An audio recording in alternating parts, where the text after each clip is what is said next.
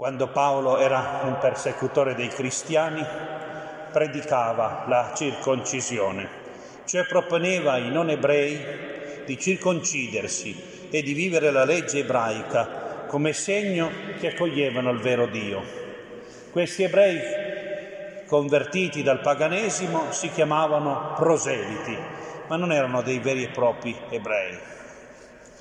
Ora che è un apostolo di Cristo, Paolo non predica più la circoncisione, cioè non ha nulla in contrario che un ebreo venga circonciso come segno di appartenenza al popolo di Dio, ma non richiede più che vengano circoncisi i pagani. Infatti Cristo ha generato sulla croce un nuovo popolo di Dio, la Chiesa, senza richiedere segni esteriori, perché è un popolo che vorrebbe raggiungere tutta l'umanità non è più un popolo che si distingue dagli altri popoli, ma è la trasformazione di tutta l'umanità in un unico popolo. È l'inizio della realizzazione della promessa fatta dai profeti, l'unità di tutti i popoli. Ormai siamo nell'era del Messia, nell'era messianica, e i segni che erano fondamentali prima ora non lo sono più.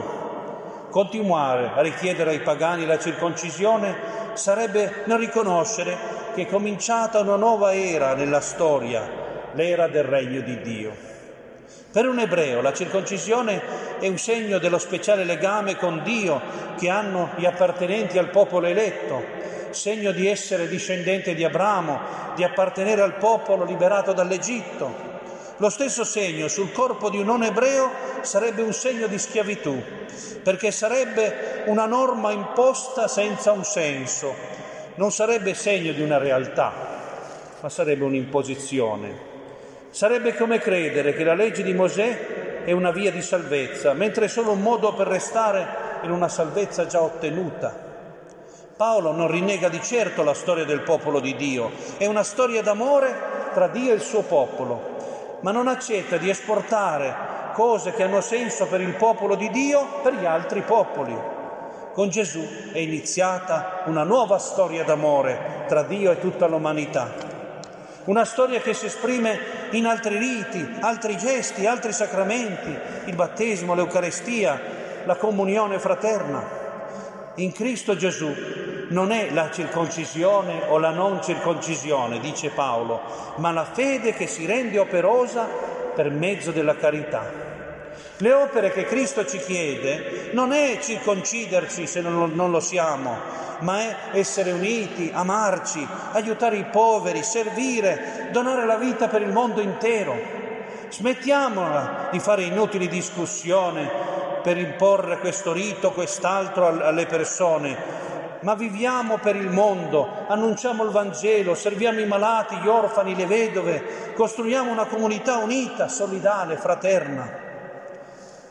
Quante volte ancora oggi nella Chiesa ci dividiamo per discussioni inutili e secondarie, la messa in latino o in italiano, il Papa che preferiamo, se è vera o no questa apparizione, i miracoli, le guarigioni, se è meglio questo o quel movimento. Basta! Siamo così impegnati a discutere tra noi che ci dimentichiamo che c'è un mondo di persone che hanno bisogno di noi, hanno bisogno di chi si mette accanto loro per condividere e hanno soprattutto bisogno dell'annuncio del Vangelo.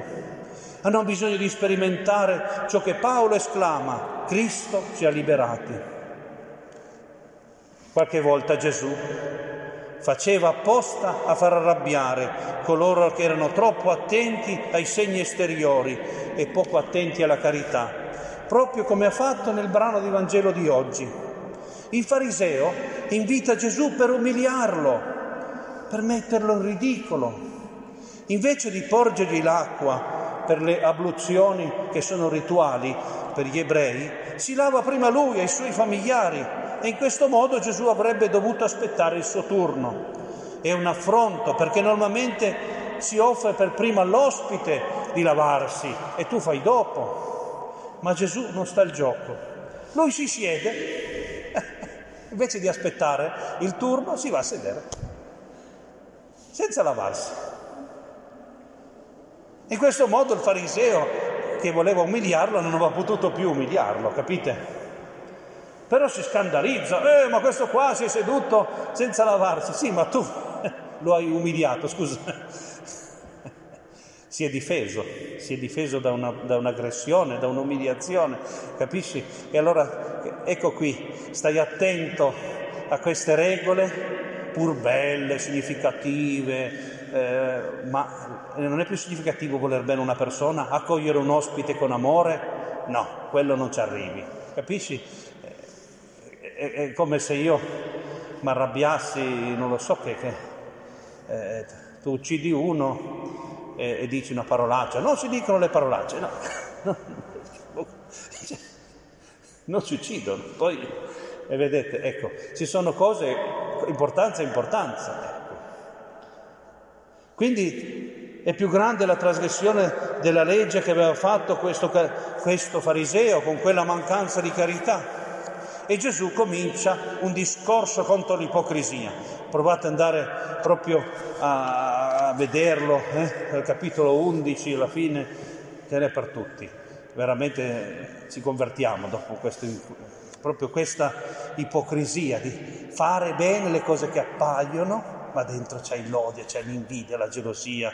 Eh, parole di fuoco, quella di Gesù. Quante volte anche nella Chiesa ci dimentichiamo che c'è un solo assoluto, la carità. Eh. Il resto sono, sono belle, così belle, importanti, ma sono relative. L'importante è amare l'altro, accoglierlo. Ecco.